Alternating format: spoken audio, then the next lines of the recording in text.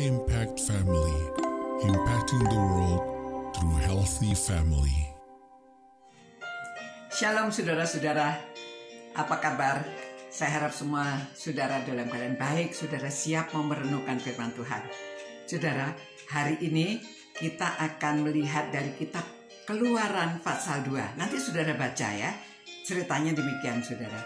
Pada waktu itu orang-orang Ibrani dalam keadaan depresi karena Firaunnya ganti. Uh, Firaun yang lama sudah meninggal, yang kenal Yusuf. Sekarang Firaun yang baru nggak kenal Yusuf.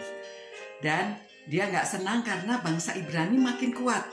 Jadi dia memberitahu para bidan kalau orang-orang Ibrani itu melahirkan anak laki suruh dibunuh, dibuang. Tetapi kalau anak perempuan nggak apa-apa. Nah ini ada keluarga Amran dan Jokabet. Dia mempunyai anak laki-laki Wah, bagaimana saudara orang punya anak tuh pasti kan disayang. Anak masih bayi baru lahir laki-laki. Aduh, cakep anaknya yang mau diapain? Disimpan. Tapi nggak bisa sudah sebulan, dua bulan, tiga bulan makin keras nangisnya juga ya. Bisa kedengaran nanti kalau dibunuh gimana? Jadi akhirnya dia membuat keranjang, ya ditulisnya dari daun pandan lalu dikasih ter gitu ya supaya nggak bocor lalu dilepaskan di sungai. Mereka tahu di sungai itu suka ada putri Firaun yang mandi di situ sama dayang-dayangnya.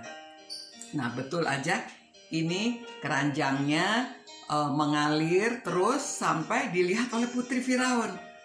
Nah waktu putri melihat eh ada keranjang apa isinya?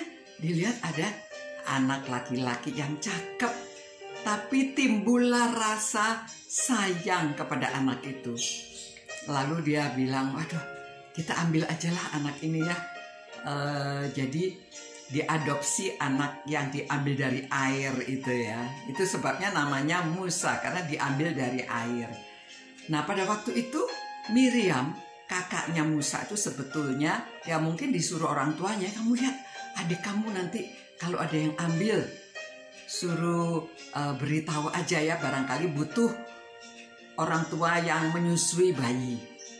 Lalu Miriam ini memberitahu si putri itu, Putri, kamu perlu nggak uh, inang pengasuh seorang ibu yang dapat menyusui bayi? Wah tanpa curiga ya itu putri itu. Lalu dia bilang, iya ya setuju setuju. Abis gimana? Siapa yang mau nyusuin bayi ini? Ya, Uh, lalu akhirnya dia dibawa pulang ternyata itu ibunya sendiri ya. Aduh Tuhan ikut campur karena memang Tuhan ada maksud untuk hidupnya Musa.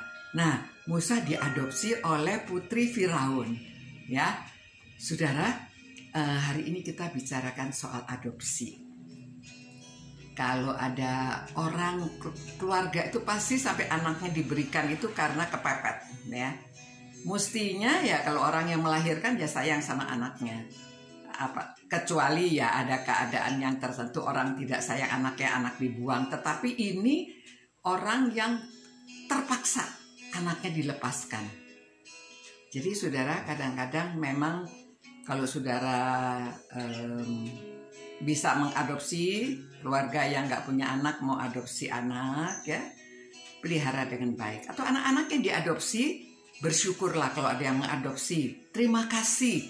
Pasti Tuhan ikut campur dalam hidup saudara sehingga saudara diadopsi dan juga ada orang yang mengadopsi. Sama-sama dua-duanya muliakanlah Tuhan. Pelihara anak adopsi dengan baik dan anak yang diadopsi bersyukur jangan malah terus memberontak gitu ya. Itu cerita banyak yang begitu ya diadopsi lalu dia mau cari orang tuanya, dia nggak senang bla bla bla. Tapi saudara, mari hari ini kita sama-sama bersyukur seperti Musa diadopsi keluarga keraton, keluarga kerajaan sehingga dia dididik menjadi seorang pemimpin. Nah, saya harap saudara-saudara hari ini kita bicara soal adopsi. Kalau saudara perlu mengadopsi atau saudara adalah orang yang diadopsi, bersyukurlah. Pasti orang tua mendoakan anaknya sehingga semua itu terjadi. Percayalah bahwa Tuhan ada bersama-sama dengan saudara. Ya, kita berdoa ya. Tuhan, terima kasih Tuhan karena kami tahu bahwa Musa diadopsi oleh keluarga keraton sehingga dia bisa dididik menjadi seorang pemimpin. Tolonglah keluarga-keluarga yang mengadopsi anak supaya mendidik anaknya dengan baik, tumbuh dengan baik, dan anak-anak yang diadopsi supaya mereka bersyukur karena Tuhan mengizinkan mereka diadopsi satu keluarga sehingga dia juga bertumbuh menjadi baik. Terima kasih Tuhan. Demi nama Tuhan Yesus kami berdoa dan mengucap syukur. Amin. Selamat malam saudara-saudara. Tuhan memberkati saudara-saudara ya kita tetap cinta Tuhan cinta firman yang mengajarkan kita segala macam tentang kehidupan dan kita bersyukur atas semua yang sudah terjadi dalam hidup kita selamat malam. Selamat beristirahat. Ciao. Impact Family. Impacting the world through healthy family